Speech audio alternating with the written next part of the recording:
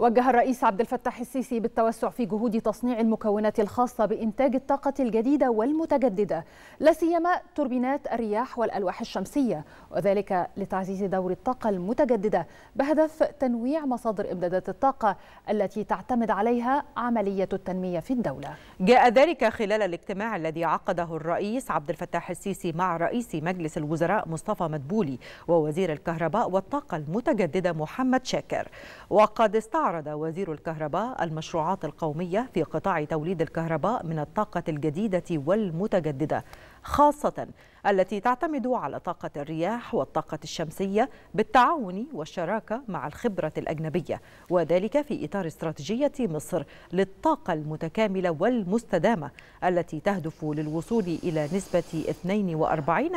42% للطاقة المتجددة من مزيج الطاقة الكهربائية في مصر بحلول عام 2035 خاصة مع قرب استضافة مصر للقمة العالمية للمناخ في شهر نوفمبر المقبل بشرم الشيخ. كما استعرض وزير الكهرباء مستجدات التعاون مع الخبراء الدوليين في مجال توريد طاقة الهيدروجين الأخضر باستخدام الطاقة المتجددة وفقا للاستراتيجية الوطنية في هذا الخصوص حيث وجه الرئيس السيسي باستمرار تعزيز الجهود في هذا الإطار في ضوء الاهتمام العالمي المتنامي بمشروعات الهيدروجين الأخضر باعتباره مصدرا واعدا للطاقة في المستقبل. وأضاف المتحدث الرسمي أن الرئيس السيسي اطلع كذلك على مستجدات مشروعات الربط الكهربائي مع دول الجوار خاصة المملكة العربية السعودية وكل من اليونان وقبرص.